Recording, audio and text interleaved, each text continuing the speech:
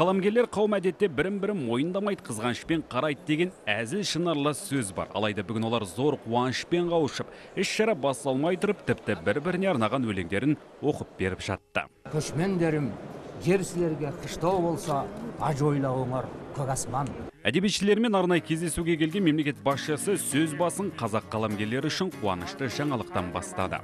Бүгінде төл әдебиетіміздің көкжиегі кейіп әлем әдебиетінің даму көшіне қосылды. Қазақ қаламгерлерінің туындылары арқылы дүниежүзі жұртшылығы ұлттық руханиятымызды танып білуде.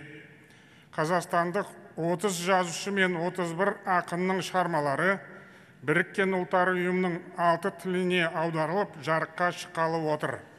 Осы туындылар бес құрлықтағы 90-нан астам елге яғни екі жарым миллиард оқырманға тарайды. Иә бұл ел билігінің ұлттық руханият саласына тер төгіп жүрген азаматтарға деген қолдауының бір үлгісі. Еңбегімен көзге түскендерге біздің елде түрлі марапаттар жетерлік. Президент енді сары құрлық деңгейінде осындай сыйлық тағайындау қажеттігін айтты. Әрине шығармашылық қауым үшін бұл да шабыт сыйлап жаңа жауһар туындыларды дүниеге әкелуіне сеп болары анық. Әдеби үдерістерді жаңғырту үшін жағдай жасау басты міндеттердің бірі. Осы мақсатта азия алыбы халықаралық әдеби сыйлығын тағайындаған жөн. Әлемдегі әйгілі сыйлықтар секілді бұл марапаттың да беделін арттыруға күш салуымыз керек. Тұтас азия құрлығындағы ақын жазушылардың ұлы абайдың мерейтойы қарсаңында біздің елде бас қосуы да ерекше символикалық мәнге ие. Түп тамыры күлтегі мен тоны көктен басталған әдебиетіміз ұлы хәкім тұсында өз биігіне көтерілген болатын. Төл әдебиетіміздің асқар шыңға шығуы ұлы ойшыл абайдың даналық болмысымен тығыз байланысты. Оның шығармалары жалпы адамзатқа ортақ рухани жауһарлар. Жазушылар бас қосқан кезде қашанда ел болашағы адамзаттың ынтымағы мен берекесі рухани құндылықтар сынды тақырыптар әңгіме арқауына айналары сөзсіз. Бүгінгі жиында да қоғамның қазіргі келбеті мен ертеңгі асулары талқыланды.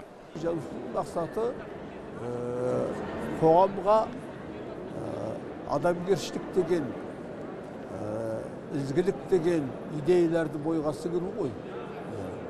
Ал егер адамның бойында ізгілікке деген сенім болса қылмысқа деген жеккөрініш сезім болса онда жер бетінде соғыс та болмайды онда жер бетінде терроризм де болмайды бәрі жақсарады. Перед писателями самая главная проблема.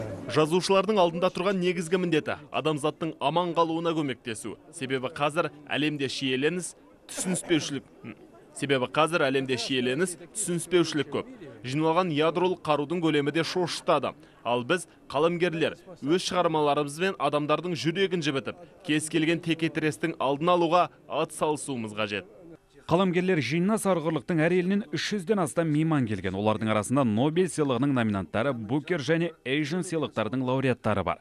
Іс шара 6 қыркүйекке дейін жалғаса ертең белді жазушылардың шеберлік сыныптары өте және абай көшесінің бойында қаламгерлер аллеясы ашылады деп жоспарланған.